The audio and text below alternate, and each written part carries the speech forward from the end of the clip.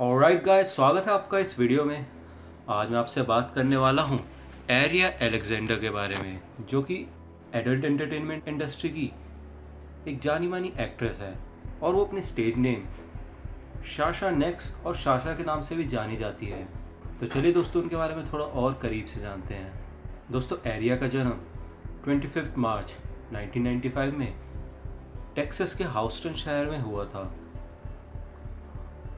लेकिन दोस्तों, कुछ ही समय बाद वो अपनी फैमिली के साथ साउथ कैरोलिना शिफ्ट हो गई और दोस्तों, वहीं से उन्होंने अपनी एजुकेशन पूरी की।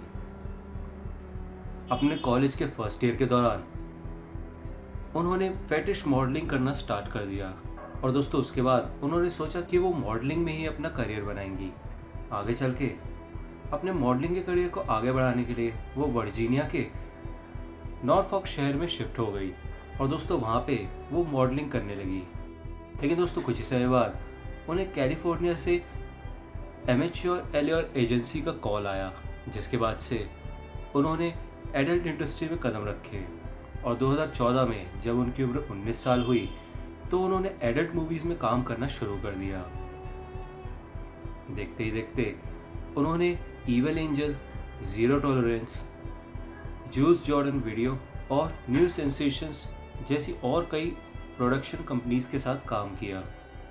इसके बाद सन 2016 में वो बेस्ट न्यू एक्ट्रेस की कैटेगरी में एवियन अवार्ड्स और एक्स बिस अवार्ड्स के लिए नॉमिनेट भी हुई।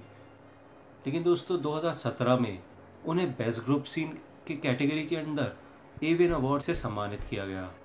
दोस्तों, इस दौरान एरिया अलेक्जेंडर 120 से ज़्यादा मूवीज़ में काम कर चुकी हैं।